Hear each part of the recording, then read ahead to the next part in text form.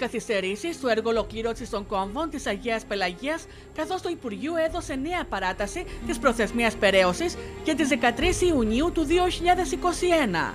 Μιλάμε για, για το, το κομμάτι που καθυστερεί είναι η μελέτη επιτάχυσης της λωρίδας επιτάχυσης και επιβράνδυσης από το Ηράκλειο προς Αγία Πελαγίας, σε αυτό το ρεύμα. Η μελέτη έχει ολοκληρωθεί, ε, είναι θέμα της διευθύνουσα αρχής του Υπουργείου να την εγκρίνει. Πρέπει οπωσδήποτε να προχωρήσει με πολύ σημαντικούς ρυθμούς. Αυτή είναι και η δική μας η αγωνία, αυτή είναι και η δική μας παρέμβαση στο Υπουργείο. Να δοθεί απόλυτη προτεραιότητα στο συγκεκριμένο έργο σε σχέση με άλλα.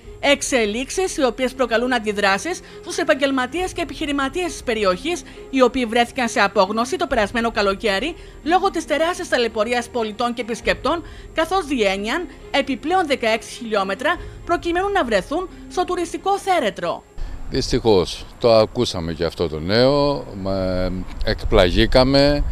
Πέρυσι η περιοχή αυτή πέρασε τα πάνδυνα. Το σημαντικό ήταν η κακή πρόσβαση στην ε, περιοχή λόγω του έργου του κόμβου αλλά ένα εύκολο έργο κατά τη γνώμη μου έχει καταντήσει να γίνει το γεφύρι της Άρτας. Αν πάμε καλοκαίρι παιδιά οι άνθρωποι αυτοί θα καταστραφούν θα φτάσουμε σε άλλα πράγματα, θα κλείσουν επιχειρήσεις, θα αλλάξουν χέρια περιουσίες. Υπάρχει αγωνία διότι ε, εάν, εάν δεν δουλέψουν πάλι φέτο οι επιχειρήσεις είναι, θα, θα έχουν σοβαρό θέμα επιβίωσης διότι ήδη πέρυσι με την πανδημία δεν δούλεψαν καλά όπως έπρεπε και με το να μην υπάρχει εύκολη πρόσβαση στην Αγία Πελαγία και να, τα, να ταλαιπωριούνται οι επισκέπτες ε, δεν είχαν τα έσοδα που είχαν την προηγούμενη χρονιά. Πρέπει να προλάβουμε τη σεζόν. Δεν γίνεται να χάσουμε άλλη μια σεζόν.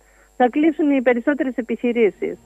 Πρόκειται για ένα έργο το οποίο έχει περάσει από 40 κύματα και που θα έπρεπε να είχε παραδοθεί τον Μάιο του 2020.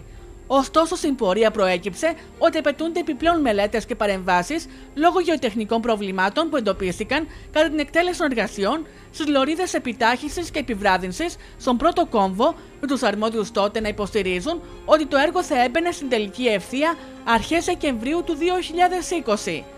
Όμως και αυτό το χρονοδιάγραμμα τεινάχτηκε στον αέρα, καθώς πρόσφατα ολοκληρώθηκαν οι μελέτες, ενώ είναι πλέον θέμα έγκρισης της μελέτης, όπως ενημερώθηκε από το Υπουργείο ο Μενέλαος Μποκέας. Ο Υπουργός το γνωρίζει, έχουμε επικοινωνήσει, ο κ. Κεφαλογιάννης.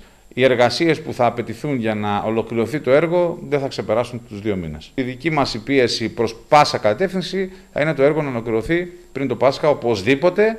Σε κάθε περίπτωση να μην έχουμε μία ακόμα τουριστική σεζόν που να ε, μην έχουν ολοκληρωθεί οι κόμβοι.